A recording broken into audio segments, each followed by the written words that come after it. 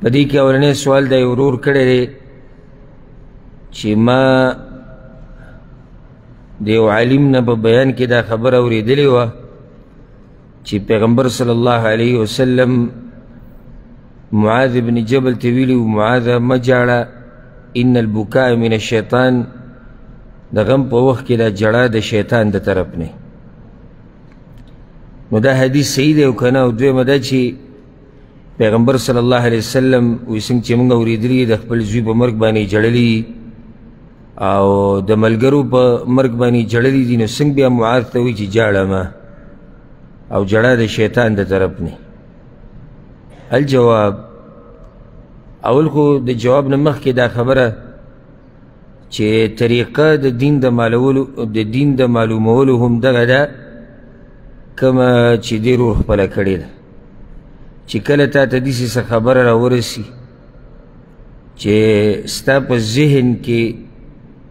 د هغې د لاسه اشکال واقع شي اشکال قرآن او حدیث کې نه راځي زموږ ذهن کې راځي نو بیا د هغې حل دا دی چې ته به علماو ته رجوع کوې حل دا نه دی چې ته په دین کې شکونه شروع کړي او یا د ځان نه فتوې شروع کړي چې دا به داسې او دا به داسې نو ته به یو عالم ته پوهه عالم ته واپس شي او دا غنه به ته پوښتنه کی چې دا مسله دي سي دا نو ما په پوهه کا ضرور چې کوم حدیث باره کې ته پوښتنه کړې دا حدیث بالکل صحیح دی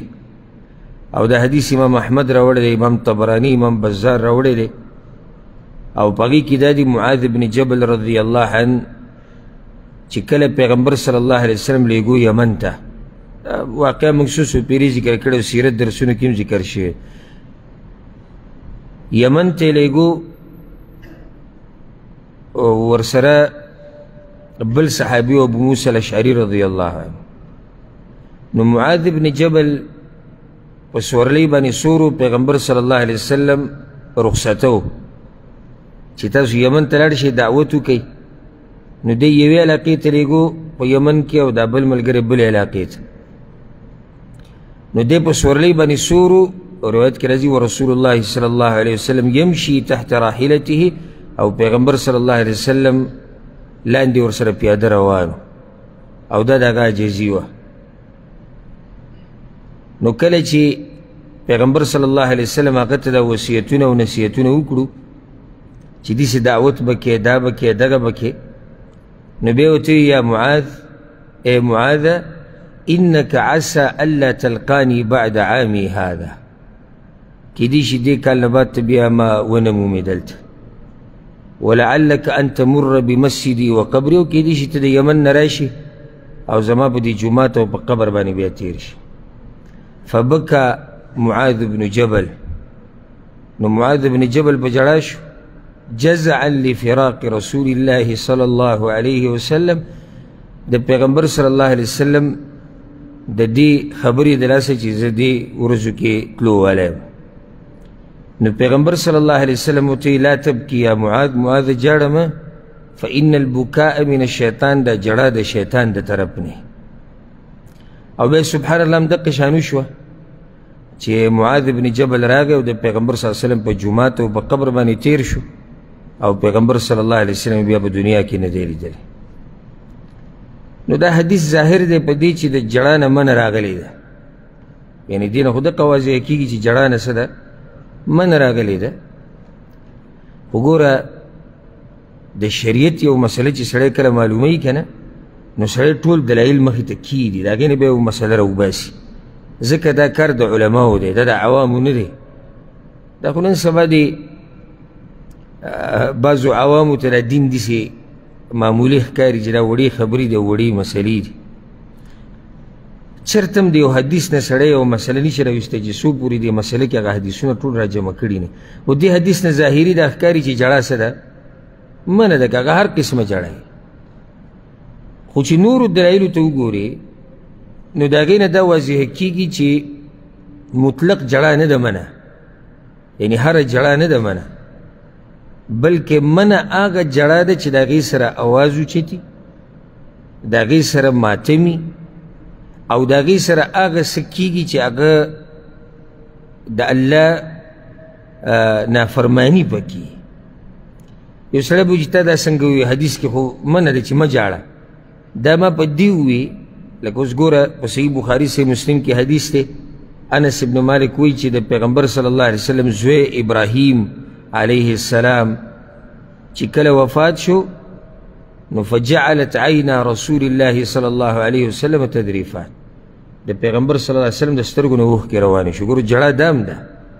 او ته حدیث کې جړه نه منه راغلی ده نو کېدی نه شي چې د پیغمبر په خبره او په کار کې ټکرا وي کېدی شي نه شي کېدی نو د چې راجمع کې نو دین یو بله مسله بیا راوځي او بیا پیغمبر صلی الله علیه وسلم دام وي ان العین تدمع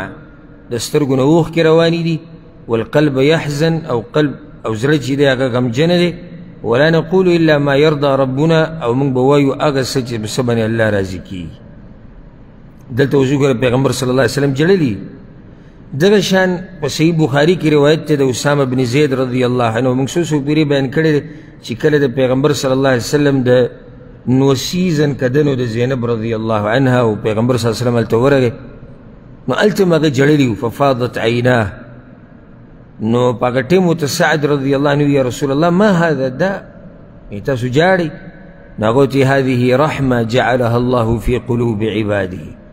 دا رحمت چې الله د بندگانو په زړونو کې اچولی دلته هم ژړلي تر شان هغه واقعه موږ بیان کړې مو سیرت کې تفصیلا په صحیح بخاري کې ده چې پیغمبر صلی الله علیه وسلم انس بن مالک وایي پیغمبر صلی الله علیه وسلم خطبه کوله او د جنگ موتا هغه کم صحابه کرام چې شهیدان شوي د هغوی باسې کو او الله ورته ښکاره کول وی اوس جنډه زید رضی الله عنه راواغسته او هغه شهید شو بیا جعفر راواغسته هغه شهید شو بیا عبدالله ابن رواحه راواغسته او هغه هم شهید شو او بیا خالد ابن الورید رضی الله عنه راواغسته وعیناه تدریفان او د هرې خبرې سره یې ژړل سترګو نه اوښکې روانې نو دلته هم په ملګرو پسې ژړلي دي ښه اوس نورو حدیثونو کې منه راغلې ده چې جړا نه منه راغلې بعضو صحابه کرام هم دا سوچ وکړه چې د جړا نه منه معنی ده چې د هرې جړا نه منه راغلې ده لکه دغه حدیث مخکې تیر شو کنه چې سعد رضی الله عنه پیغمبر صلی الله علیه وسلم ته یا رسول الله تاسو جاړي یعنی د سعد په ذهن کې دا وو چې پیغمبر چې د جړا نه منع کړی دا نو دې مطلب څه دی چې هر جړا منع ده نو پیغمبر صلی الله علیه وسلم پوه کو چې نه نه دا جړا د غم په وخت کې د سترګو نه وخت کېتله بغیر د جاهلیت خبرونه بغیر د ماتم نه بغیر د چغو چغارو نه جړا کول دي کې څه حرج نشته او ځکه یو اثر کې دي سرازي او روایت کې اگر که مرسل دی سندن البکاء من الرحمه چې جړا د رحمت ته او چغې وهل د غم په وخت کې د شیطان د طرف نه نو خلاصه دا شوه خلاصه چې دغه حدیث د معاذ دا صحیح دی پیغمبر صلی الله علیه وسلم منع کړی ولې منع کړی کیدی شي پیغمبر صلی الله علیه وسلم د هغه په جړا کې اواز لیدلی او په چغو چغو جړلی نو پیغمبر صلی الله علیه وسلم ورته چې دي سه مجاړه دا جړه د شیطان د طرف او د نورو حدیثونو کې کم نه چې جړه روا ثابتېږي نو هغه جړه چې د سترګو نه سره اوخ کیزی او چغی چغاری پکې نه او د ماتم ماتم پکې نه ویر پکې نه او دغه شان د جاهلیت خبرې پکې نه نو دې سي د حدیثونو ټول را جمع شو پوه شوي بوس که نه نو کومه جړه منه ده چې ویر او ماتم ورسره وي د جاهلیت خبرې پکې د جاهلیت کارونه لکه ګریوانونه شلول ویښته ویسته ځان په سپېړو وهل چې دا پکې چغې چغارې وهل د دې نه مننه ده هغه ژړا چې د سترګو نه اوښکې ځي زړه ورسره غمجني دې باندې شریعت موږ نه رانیسي بلکې دا خو رحمت دی چې الله د بندګانو په زړونو کې اچولی دی په دې الله موږ نه رانیسي او که دې سره معمولي اواز وي څه خبره نه ده کله نه کله سړی په ارام ژاړي خو داسې غم پې زورور شي چې اواز هم کله نه کله خولې نه راوځي غیر اختیاري هغه ارادي نه وي غیر اختیاري په دې به الله رانیونه کوي انشاءالله ښه